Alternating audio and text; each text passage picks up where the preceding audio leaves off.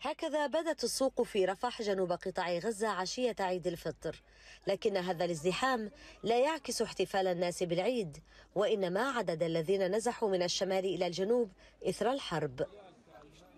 مآسي ومعاناة تتمثل في صور كثيرة جعلت هذا العيد ليس ككل الأعياد. فيش عيد ولا في فرحة عيد. ولا يعني زي كل سنة لأنه اللي عنده أهالي شهداء واللي بيته رايح واللي نازح واللي مت متمرمط في هذه الدنيا مون في عيد وفرحة. طبعا ما فيش عيد ولا في فرحة عيد نهائيا حتى رمضان ما حسيناش فيه.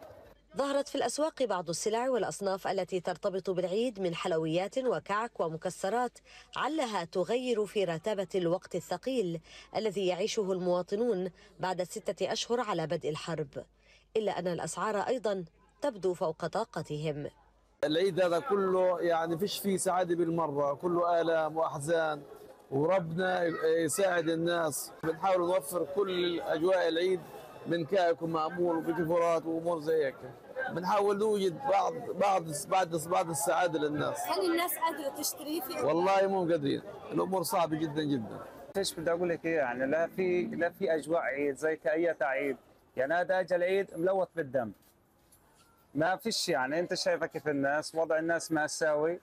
الناس بس كل همها وفكرها إنها ترجع وين؟ على بيوتها.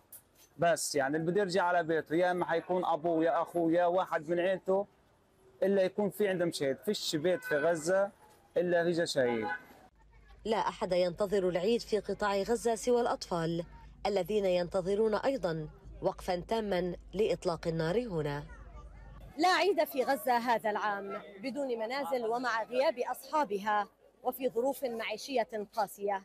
وما نراه في السوق ما هو إلا محاولات لإحياء طقوس العيد إلى حد ما ولإدخال البهجة في قلوب الأطفال فقط. وسام ياسين الحرة. رفح.